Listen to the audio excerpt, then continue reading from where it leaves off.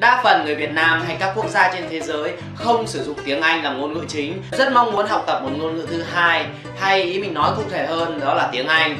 Nhưng ở Việt Nam do sự thiếu quan tâm một cách chính xác của các bậc phụ huynh, đặc biệt là ở vùng nông thôn đã khiến cho bộ môn này không được phổ biến hay chúng ta chưa có sự đầu tư chính xác về bộ môn này. Dẫn chứng đó là tất cả các bạn học viên tốt nghiệp lớp 12 từ vùng nông thôn lên đều chưa có thể nói được tiếng Anh.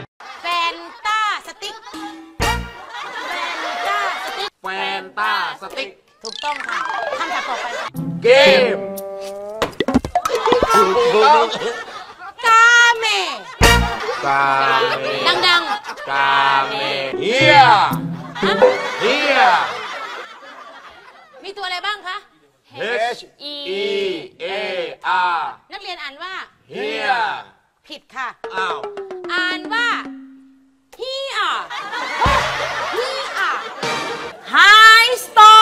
Hi story. Hi story. Hi. Hi. Hi. Hi. Story. Story. Iceland và tình trạng mù tiếng Anh như ở video trên là một chuyện hiển nhiên. Trong chuỗi video lần này mình sẽ chia sẻ đến cho tất cả các bạn những cách để bạn có thể bắt đầu với ngữ âm là một điều cơ bản trong tiếng Anh. Và nếu như vẫn chưa biết ngữ âm là gì thì chúng ta sẽ cùng với nhau tìm hiểu ba phương pháp để có thể cải thiện khả năng ngữ âm của mình. Và nếu như bạn đã sẵn sàng, ready. Phương pháp đầu tiên đó là dùng cử chỉ tay. Cử chỉ tay hay còn gọi là gesture là cách sử dụng những hành động tay để mô tả một cách chính xác nhất cách mở khẩu hình miệng. Đây là phương pháp được sáng tạo bởi thầy Lý Dương, là một người đã từng rất dốt tiếng Anh, nhưng chỉ sau một vài tháng luyện tập, ông đã có thể phát âm chuẩn và giao tiếp tiếng Anh thành thạo. Sau khi sáng tạo ra phương pháp, đã có hơn 30 quốc gia cử phóng viên để phỏng vấn ông.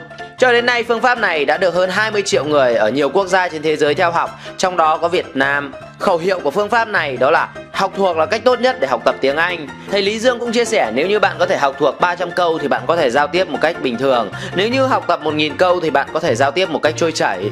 Và nếu như bạn muốn học tập phương pháp này thì các bạn có thể xem link ở phía dưới phần mô tả mình đã để ở phía dưới.